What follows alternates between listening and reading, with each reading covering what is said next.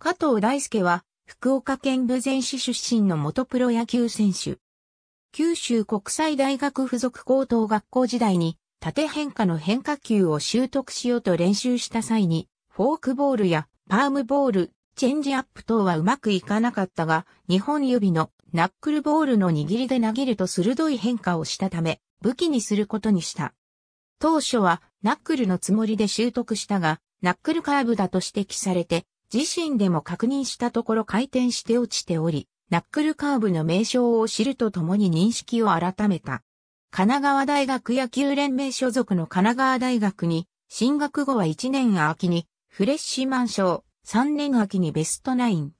4年時の2002年に第1回世界大学野球選手権日本代表に選出され、リーグ通算17勝。同年秋のドラフト会議において、自由枠でオリックスブルーウェーブに入団。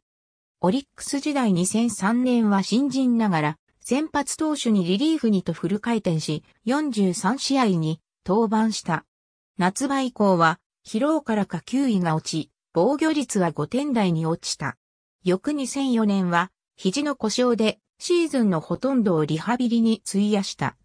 シーズン終了後の球団合併に伴う選手分配ドラフトを経てオリックスバファローズと契約。2005年は春季キャンプで行われた紅白戦で MVP に選ばれて、扇明監督が横峰ファミリーと親交があったことから、横峰桜と1日デート券が送られ、全8試合の宮古島杯でも MVP に選ばれ、宮古牛一頭を獲得した。シーズンに入ると、萩原敦勝木良太、加藤達夫、菊池原武史、大久保勝信らと、協力リリーフ陣を形成。左の菊池原、右の加藤というダブルセットアッパー体制で60試合に登板し、チーム内では菊池原に次ぐ2位、リーグ4位の23ホールド、同3位の29ホールドポイント、防御率2.76を記録した。2006年は前年に引き続きリリーフ陣の中心として活躍。抑えを任されることもあった。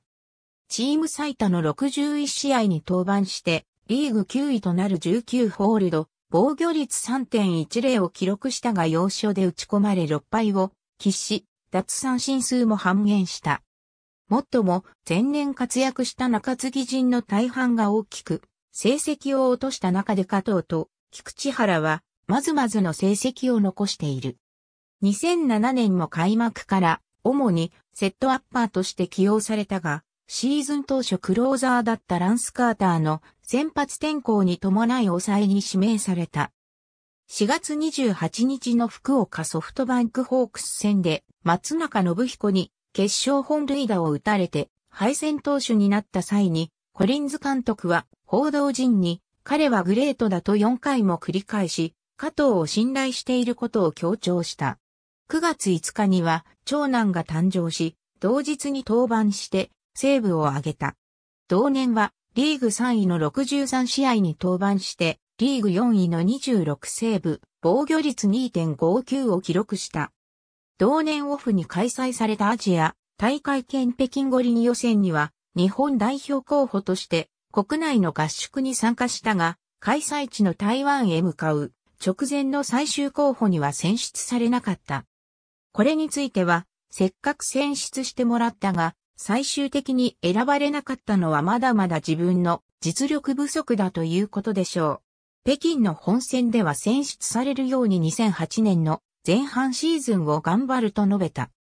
2008年からホームゲームでは加藤がセーブがつく状態でマウンドに上がる際、彼だけの特別映像がスタジアムビジョンに流れるようになった。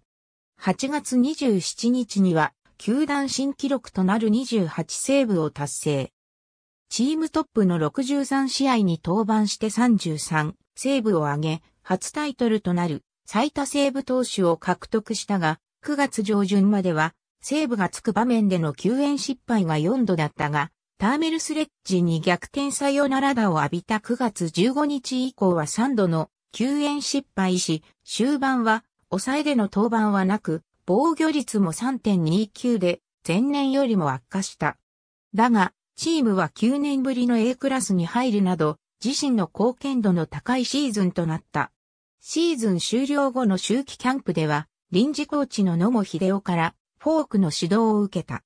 2009年はシーズン当初から制裁を書く場面が多く、序盤は何とかしのいだが8月になると投球内容が悪化した。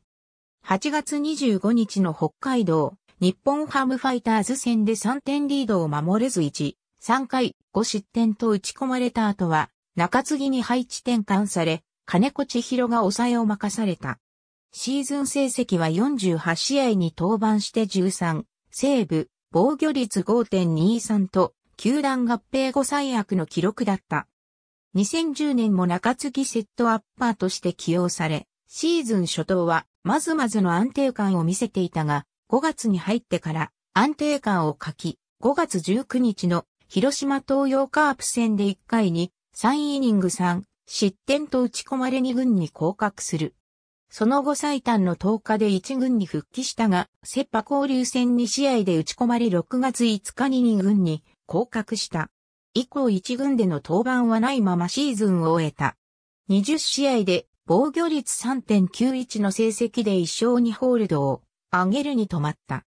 この年のオフに大久保勝信と元柳和也が対談したことに伴い、オリックスブルーウェーブ経験者で分配ドラフトを経てオリックスバファローズに在籍し続ける唯一の投手となった。2011年はプロ入り初の一軍登板なしに終わり、11月14日に戦力外通告を受けた。12球団合同トライアウトに参加し、12月6日に東北楽天ゴールデンイーグルスが獲得を発表した。2012年5月2日の対埼玉西武ライオンズ戦で2番手として登板し、2年ぶりの勝利を挙げた。ビハインド時の登板やロングリリーフが主だった。9月18日には登録抹消された。35試合に登板し、防御率3.35の成績だった。2013年にはオリックス時代の故障による特例措置としてシーズン中に初めて国内フリーエージェント権を取得。チームのパシフィックリーグ初優勝がかかった9月25日の対西武戦で片岡治大にサヨナラ本塁打を打たれるなど、6試合のリリーフ登板で0勝2敗、防御率8.71に終わり、シーズン終了後の11月4日に、球団から戦力外通告を受けた。その後、トライアウトにも参加するも、獲得球団は現れず、現役を引退。11年間のプロ野球生活に幕を閉じた。引退後は、スポーツ用品店に勤めている。ありがとうございます。